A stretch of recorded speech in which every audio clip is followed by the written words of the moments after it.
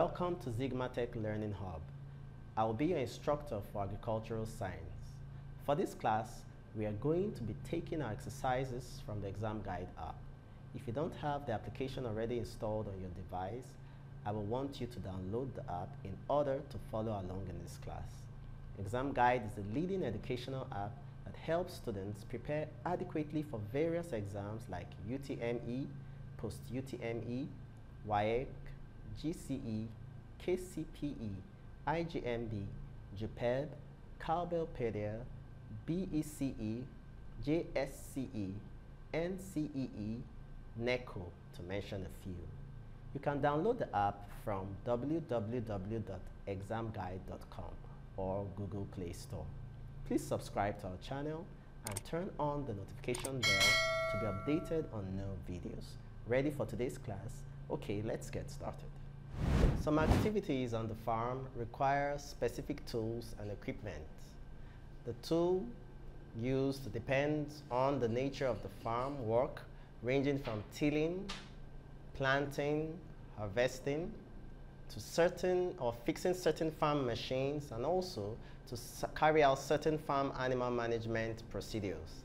In this lesson, we will identify the various simple farm tools used in the farm and their uses. So our topic for today is simple farm tools, uses, and maintenance.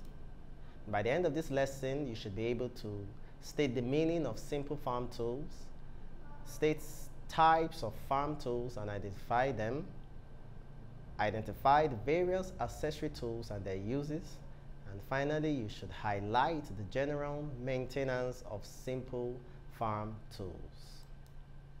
So let's start with the meaning of simple farm tools. So what are simple farm tools? These are simple, from the word, simple, handy tools used mainly by peasant farmers, which are actually small-scale farmers, designed to help the hands to apply some form of force in farm operations. Now let's look at the types of simple farm tools. Now these types of simple farm tools can be grouped into various categories and we have what is called the garden tools and under the garden tools we have the cutting tools which include the cutlass, the secateurs or the sickle or the go-to-hell to mention a few. We also have the digging tools which is also a garden tool. We have the spade, the shovel, the pickaxe, the hand fork, etc. And we also have the carrying tools which are used for carrying items on the farm. We have the watering can and the wheelbarrow. Still on the groups of simple farm tools, we have what is called harvesting tools. These are used for harvesting. And we have what is called go-to-hell. We have the sickle. We have the harvesting knife to carry out harvesting. We have the fishing tools, again, which is another group of simple farm tools, which include the gourds, the local pots, the spares, the fish traps, the fish nets as well.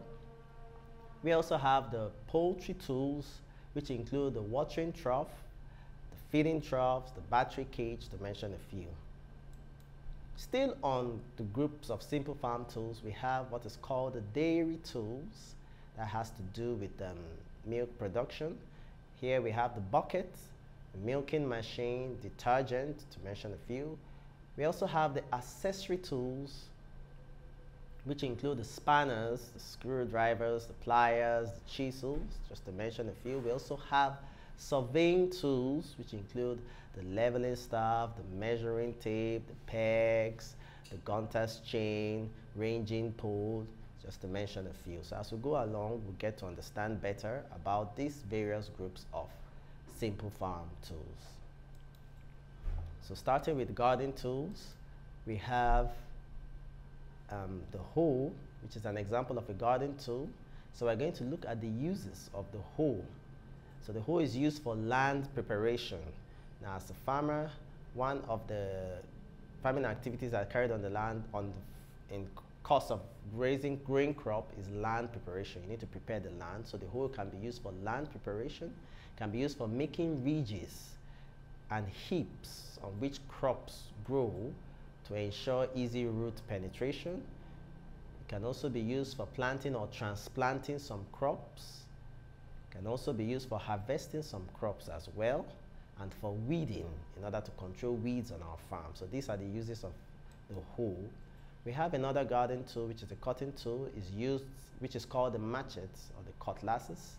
It's used for cutting down and clearing bushes and trees which is also a pre-planting farming activity. You know, before you cultivate your crops, you need to clear the bush, and before you carry out some land um, tillage activities, you need to clear the bush. You can use the machete, so it's used for cutting down and clearing bushes and trees. It can also be used for transplanting seedlings, you know, into the from the nursery into the main field. So the machete can be used. It can also be used for planting seeds directly on the field. It can also be used for harvesting crops once the crops are matured and you need to harvest. The machete can be used for harvesting crops. And it can also be used for weeding the farm as a means of controlling weeds. We have the spade as another garden tool, which is used for digging drains, also laying foundations and trenches on our farms. Can also be used for turning the soil which is also a tillage um, activity. It can be used for turning the soil and can also be used for leveling the soil. We have the spade. You can see I talked about the shovel, which has a, an oval shape, the blade, but the spade here has a rectangular shape.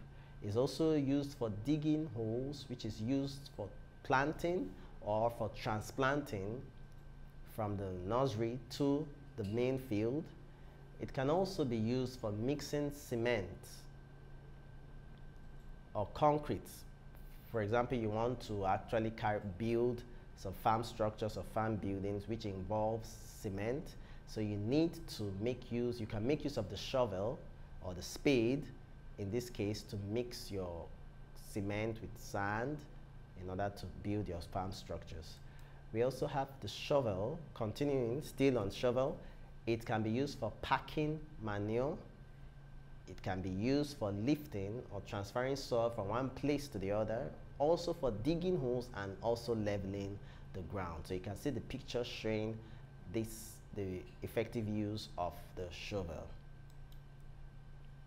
Can also be used for making mounds or ridges on which crops can be planted and grow to ensure easy root penetration. It can also be used for loading materials from ground level into the wheelbarrow. We'll talk about the wheelbarrow with time. It can also be used for that purpose and also for making garden paths. We have the hand trowel as another garden tool. Now the hand trowel is used for transplanting seedlings from the nursery to the main field and it can also be used for fertilizer or manure application, which could help our crops to grow effect well. Can also be used for light weeding as a means of weed control. You can make use of the hand trowel to control weeds. So we can also use it for digging holes for planting directly on the field. Remember I talked about transplanting, that is from the nursery to the field. You can also use the hand trowel for digging holes for planting uh, seeds directly in the field. It can also be used for sampling soil. You want to check the type of soil that is on your farm. You can use the hand trowel to sample your soil. And it can also be used for mixing soil and fertilizers that have been applied to the field, to your crops. You know, you need to mix it up with the soil around the plant. So you can use the hand trowel for mixing soil and fertilizers. We have the hand fork as another garden tool now, what's the purpose or what are the uses of the hand, the hand fork? The hand fork is used for loosening the surface of our soil, especially when the soil is compact compacted. They can see the picture there. The, the farmer is using the hand fork to loosen up the soil. Can also be used for light weeding. That's for weed control, getting rid of unwanted plants or grasses in the field, and also for mixing small quantity of soil or manure as well and can also be used to spread manure as well. We have the garden fork, which is like a bigger version of the hand fork. Now this is used for turning manure during compost making Now, compost making has to do with the rotting down of some plant residue and animal residue, you know, in a pit. So when you need to turn that compost after two weeks, you know, so this can be used to, uh, to enable you achieve that purpose. It can also be used for loosening the soil before transplanting your um, seedlings from your nursery to the main field.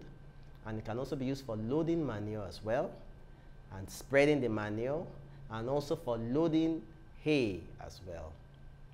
Hay, which is a form of dry grass on the field. It can be used for loading hay. Now, it can also be used, uh, sorry, we're talking about rakes now, which is another garden tool. What is the rake used for?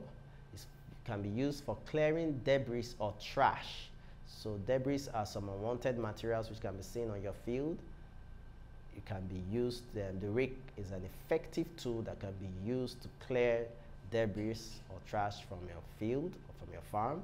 It can also be used for leveling soil surface. The soil surface can be leveled in order to enhance um, easy cultivation of our crops. It can also be used for removing stones. You can see the picture of the farmer making use of the rake there to get rid of stones. It can also be used for weeding our operating plants from our seed beds. Still on the rake can be used for covering vegetable seeds when they are broadcast. Broadcast means your, your especially in the nursery beds, you can spread your seed, vegetable seeds, and you need to it to spread properly. And after that, you need to cover it with some soil. You can use the rake to achieve that and it can also be used for breaking up some soil lumps into finer particles that would now call what we call secondary tillage. A secondary tillage practice, then we have the primary tillage, which is breaking up the soil into large clods. Then you can also break it up into smaller, tinier particles, which is secondary tillage practice, and the rake can be used to achieve that. We have the shears, which is another garden tool, which is actually a cutting tool and it's used for trimming our flowers or flower hedges and shrubs. The picture can give you an idea of what I'm talking about and can also be used for cutting flowers as well. We have the watering can and from the name water, which is there, you should know that it should be used for applying water, uh, which is also called irrigation. So the watering can can be used for light irrigation, like application of water to our crops during the dry season can also be used for the application of liquid fertilizers, which is called fertigation. And it can also be used for the application of water to the seedlings in our nurseries. You know, some plants are delicate, so they need to be grown in the nursery first before being transplanted to the field. So while in the nursery, you can make use of the watering can to apply water to the plants. We also have, um, it can also be used for watering cement block during construction of our farm houses. The secateurs. This is another garden tool. So the secateur can be, is a cutting tool and is used for pruning our shrubs or ornamental plants and also for some form of weeding now, pruning has to do with reducing the vegetation of our crops or our plants. So this um, can be used to achieve that. Can also be used for trimming hedges or shrubs. Can also be used for cutting buds or scion and rootstock. That's in the form of um, grafting or budding, which is a means of propagation using vegetative materials like the stem the board, So you can use the secateur to achieve that purpose. We have the axe as another garden tool, which is used for felling trees. Now, you don't fall trees. Technically, it's called fell. You fell trees. So it's used for felling trees. And it's also used for splitting woods, as you can see in the picture there. Also for cutting woods. Can also be used for putting stumps, which are the leftover part after a tree has been cut. The stump is what is remaining down in the soil. You can also use the axe to operate it. and also can the axe can be used for cutting firewoods and logs as well. We have the axe, which is also called the digger, and from the name you can see it's used for digging. From the picture you can see what they're doing with it. They're using it to dig. It can also be used for removing the removal of roots of trees, which is the stump. And it can also be used for tilling a very hard soil. So when the soil is very hard, you can actually use the digger or the pickaxe to till it. Tilling means breaking up the compact soil into clods or lumps. And it can also be used for tilling soil for erection of farm buildings and can also be used for making ridges as well. We have, still on the pickaxe, it can be used for digging and uprooting small stumps of our trees that have been felled the stumps that are remaining back in the soil can be uprooted using the digger or the pickaxe. It can also be used for loosening stones, roots, and hard plants in the soil, and finally it can be used for bush clearing. Let's look at the knapsack sprayer. The knapsack sprayer, which is also called the pneumatic sprayer, is another garden tool that is used to spray chemicals on our crops, which is a form of fumigation so a pest control, so you can use it both for pest control and weed control. So you can see it can be used, the chemicals used could be fungicides, herbicides, pesticides, or liquid fertilizers, which has to do with uh, a, term, a term called fertigation when you apply liquid um, fertilizers using an irrigation system. So this is actually application of liquid fertilizers through a, a device. So we're talking about um, uses of knapsack sprayer. So we have the use, is used for what? To spray chemicals on our crops. So we have dibber as another garden tool. Now what's dibber used for? It's used for making seed holes. Before you cultivate or plant your seeds, you need to make holes to put the seeds and cover the seeds. So the is effectively used for that purpose and it can also be used for sowing large seeds.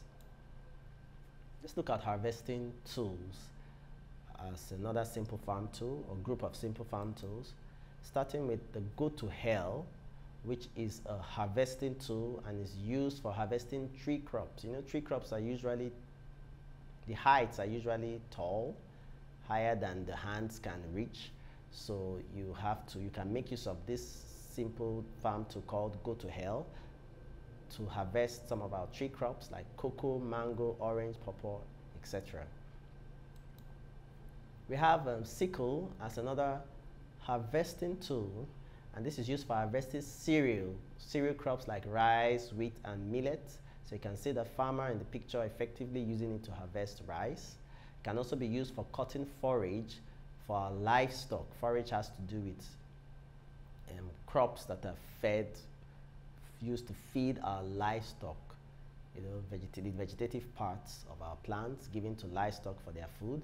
So you need to, you can use the sickle to cut the forage and give it to our livestock. It can also be used for light weeding of our vegetable plants.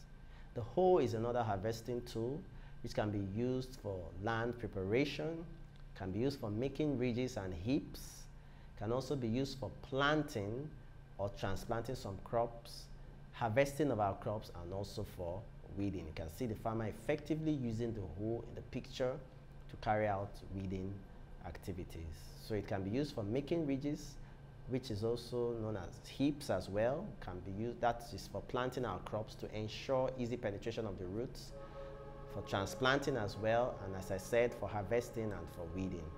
We have the harvesting knife, which can be used for harvesting some crops like cocoa, oil palm, mango, and orange. I talked about the go to hell, which is used for harvesting tall um, fruits from tree crops. This can also be used in that for that purpose, and it can also be used for light pruning as well. And pruning has to do with reducing the vegetation of our plants. so we have cutlass. This is another harvesting tool and the cutlass is used for cutting down trees, clearing bushes, and for transplanting seedlings, for planting seeds as well, harvesting our crops, and also for weeding. So the cutlass is also a harvesting tool. I spoke about them as garden tools, but they also fall under this group as harvesting tools. We have the head pan as a harvesting tool. So it can be used for carrying our farm produce. Once you harvest the farm produce, you can use the head pan to carry. That picture of the, the picture of the woman showing her it is used. It can also be used for transplanting seedlings. For example, the seedlings which are young plants that have been grown in a nursery in seedling bags can be put into this head pan and take it to the main field for cultivation or transplanting. Then we also have, it can be used for carrying and mixing manure or fertilizers as well. And also for carrying farm inputs and outputs. So these are the uses of the head pan, which is the harvesting tool. And it's, we have the basket as another harvesting tool. Uh, what's the basket used for? It can be used for um, carrying or harvested farm produce. The picture shows you of a farmer harvesting his vegetables and he's making use of a basket to carry the harvested farm produce. We have the wheelbarrow as a harvesting tool. You can see it's used for carrying farm inputs as well and also carrying farm outputs. The picture shows you the farmer carrying some seedlings. We're using the wheelbarrow, which is a farm input. Then it can also be used for carrying loads of materials to the market as well. Let's look at fishing tools, which is another group of simple farm tools. Now, fishing tools here we have the hook and line, which is a fishing tool and is used for partial harvesting of our fish, not total harvesting. The fish, the hook and line is used for partial harvesting of fish. The gourd is another fishing tool. So you can see the gourd in the picture. It's actually Argungu Fishing Festival, which takes place in the northern part of Nigeria and is used for partial harvesting of fish as well. We have the local pot, which is also used as well for partial harvesting of fish. We have the spear, which is another fishing tool. From the picture, you can see how the fisherman is making use of the spear. It's also used for partial harvesting of fish. We have fish traps. You can see from the picture how the fish trap is used. It's used for also used for partial harvesting of fish. We have the scoop net. This is also a fishing tool which is used for partial harvesting of fish. You can see the, the fisherman making use of the scoop net to harvest fish. We have the gill net, you know, part of the fish, the, the morphology of a fish. We have um, the gills, which um, is what will get this fish to be trapped in the net because of the spaces between the, the mesh size is, is such a way that by the time the fish tries to pass through, it gets stuck because the gills will get hooked into the net. That's why it's called the gill net. So it's also used for partial harvesting of fish. We have the seine net as well, which is um, also a type of net used for harvesting fish. You can see the picture of how a seine net looks. We have the cast net. This is also another type of net that is used for partial harvesting of fish as well. We have the drag net. From the picture, you're able to see the differences between the scoop net, the seine net, the gill net, and we have the drag net. You can see how it looks like. It's also used for partial harvesting of fish. We have the fishing basket, which is also used for partial harvesting of fish. So these are some of the fishing tools mentioned. Now let's look at poultry tools.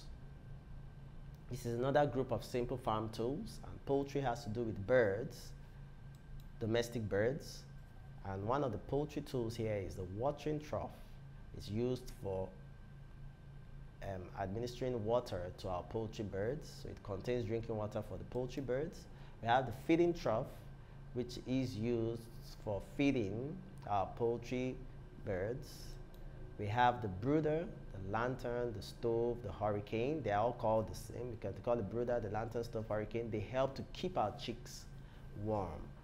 You know, chicks are born naked, and so when they are in the farm, you need to put them in a brooder house.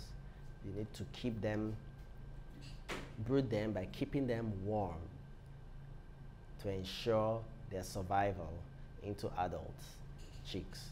So that's another poultry tool, the brooder or the lantern, the stove or hurricane.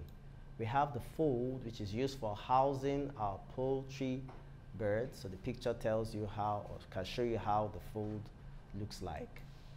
We have the battery cage, which is another poultry tool, which is used for housing layers. You know, in poultry production, we have the broilers, and we have the layers. Those are birds that lay eggs. So this is um, a modern um, tool which is used for housing our battery and um, birds, which is called the battery cage. So it has tiers, it has cells, and it's able to house a number of birds. So it's also classified as a poultry tool. We have the beakers which is used for reducing the length of the beak of our birds. So it's used for debeaking birds, and now the beaks of our birds to reduce cannibalism and egg um, um, feeding of our the birds on eggs, egg losses due to feeding of um, cracking of the eggs with the beaks of our birds, you know, to feed on the eggs. The birds do that. So debeaking helps to control that. So that's cutting the beak, the upper beak and the lower beak to help control, to prevent that sharp pointed tip that the beaks usually have. So this is also a poultry tool. We have incubator.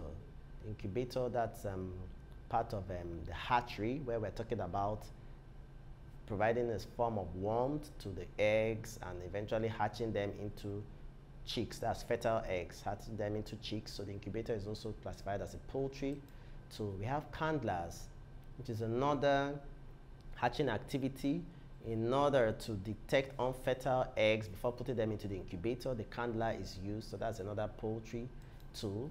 We have the bucket, which is used for fetching water because birds need water, so you can use buckets, the bucket to administer water to the watering trough of our poultry and birds.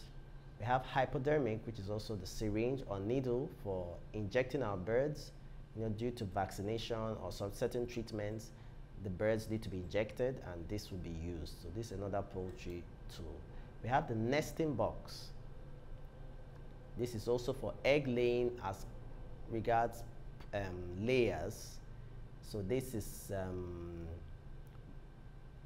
how like this should be the previous type of the locally made type of um, nesting box that we have for layers as compared to the battery cage I showed you, which is a modern type of nesting box or modern type of um, production for our poultry birds. So you, if you compare the nesting box and the layers, you find out that in this case, the birds just come here to lay the eggs and they go back to the other part of the building, that's the pen. But in battery cage, the birds actually live there, feed there, and lay their eggs in the cage. So it's different from this. But this is also a poultry tool called a nesting box for just laying. The purpose is for the birds to go in there, lay eggs, and come back and continue feeding and moving about in the pen. So this is another poultry tool. It's used in layer production as grain of layers, grain of layers. So we have dairy tools. This is another group of farm tools. And from the word dairy, this has to do with milk production. And here we have the milking machine, which is uh, one of the tools. We also have the buckets, also used in the, as a dairy tool. We have detergent and sponge, which is also used for milk production. Now let's look at workshop or accessory tools. Now we have some farm machines on our farm and we have some structures and facilities that will need some of these accessory tools to actually help keep them in good in a good state. So we have the hammer as a workshop or accessory tool and what is the use of the hammer is for straightening damaged or bent components of our farm implement. So when our farm implements are damaged or bent at some part, you can actually make use of the hammer to to straighten the damaged part of our farm implements or the bent components of our farm implements. It can also be used for driving nails into the wooden part of our farm. The ball end is for riveting and the prong end is for removing nails from um, the wood. Especially when you're driving nails and you want to remove it, you can make use of the prong end. We have the mallet, which is another workshop tool or an accessory tool which is used for driving a chisel while cutting or shaping wood. We'll get to see how a chisel is. So the mallet can be used for driving a chisel while cutting or shaping wood and also for hammering materials that will be damaged if you make use of a metal hammer. So you can actually make use of a mallet to avoid damage. The pincers is used for removing nails from wood. You know, just like what the function of the prong does in the hammer. So the pincers can actually achieve that and also for gripping or cutting wire as well. The plier is also for gripping firmly wires and also for twisting wires. The plier can also be used for holding bolts and nuts and also for cutting wires and cables. We have the screwdriver, which is another workshop tool from the word. Screwdriver is for driving screws in and into or out of wood, wooden or metal surfaces. Some are used to, that's those called testers can be used to detect or detect the presence of electric current. The hacksaw is used for cutting metal. The hacksaw can be used, it's an accessory tool and is used for cutting metal. The file is used for sharpening blades of our farm tools and also for smoothing the rough edges of our farm implements. I said it's for sharpening the blades of our farm tools and smoothing the rough surfaces of our farm implements. The spanner, we have the open-ended spanner, is used for loosening nuts or bolts of our farm machines and also for tightening nuts on our farm machines. Now this is the chisel. Remember when I was talking about the mallet, I said the chisel is made use with the mallet. You know, so this is the chisel is used for creating holes in wood. Emasculator is another workshop accessory and is used for castrating our farm animals, especially the males, which include the bull, the ram, and the goats. So this is um, a, the device or the accessory tool that is used for carrying out castration of our male anim farm animals. Budding is another accessory tool and it's uh, um, used to carry out vegetative propagation for budding and grafting in our tree crops like citrus, cocoa, and rubber, which is vegetative propagation is an asexual means of propagating where you're propagating with the vegetative part of the plant, not the seed. You're not using the seed itself. You know, crops can be grown from the vegetative part of the plant as the stem, the leaves, and the roots. So the budding knife including the bud. So the budding knife is used for carrying out budding, uh, which is a form of vegetative propagation. Now let's look at surveying tools. And here we're looking at surveying tools which has to do with mapping out of our farmland using some of these tools for identifying our structures and so on on our farmland. So this can be used for that, surveying tools. The first we have is leveling staff. So it's used to determine the differences in the height between points. We have the measuring tape, which is for measuring length or distance. We also have the pegs or arrow, which is used to indicate points and positions on the field or marked out stations. Okay, we also have the pegs, which is called the arrow, which is another surveying tool. So it can be used to indicate points and positions on um, the field that has been surveyed or marked out for marking stations. So this is um, what the pegs or arrows are used for. Let's look at the general maintenance of our simple farm tools. Now these tools should be washed and dried after use. They should also be stored in cool, dry place and preferably you should return them to a toolbox after you've made use of them. And those that have metal parts or joints, you should apply grease to the metal parts or joints.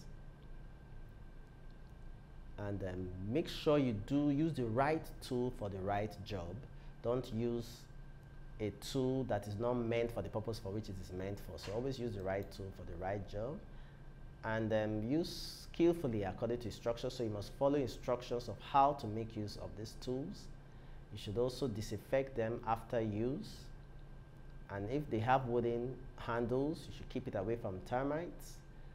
And those with cutting edges, you should sharpen regularly whenever they are blunt. Okay, let's have a recap on what we've learned so far. We talked about different types of farm tools which can be grouped into garden tools, where we talked about cutting tools, which involve cutlasses, secretor, um, secateurs, sickle. We also have digging tools, we have the carrying tools, we also have the harvesting tools, which include the go to hell, the sickle, the harvesting knife. We also have the fishing tools, which include the guards, the local pots, the spear, the fish traps, and the nets, which different types of net, the seine net, the gills net, the scoop net.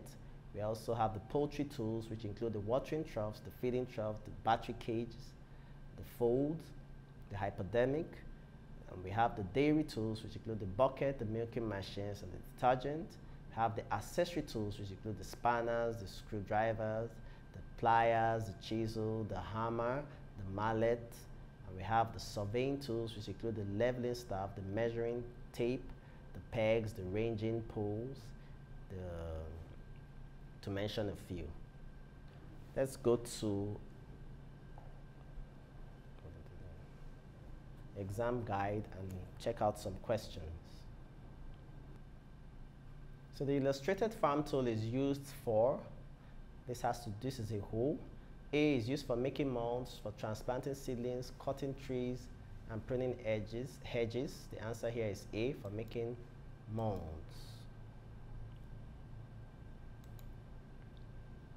Still on this implement, but another question, it says the farm implement that could perform a similar function as illustrated to this, as the tool illustrated, is the ridger. Remember, it's for making molds or ridges. I talked about that in the course of our discussion. So the answer here is C. Okay, this question says, what fishing gear is illustrated below? So the, there's a cast net, A, B, lift net, C, scoop net, D, trawl net. The answer is C, scoop. Thank you for participating in today's class. You can practice more questions using the exam guide app. The app scores and gives a detailed explanation of all the questions at the end of your practice test. You can learn a particular topic of interest with different modes like study mode, mock mode, and practice mode. It also has other features that make learning fun. It is a must-have for all serious students. Download from www.examguide.com if you don't have it yet. See you in the next class. Don't forget to subscribe to our channel, hit the notification bell and share the video to people that would benefit from it.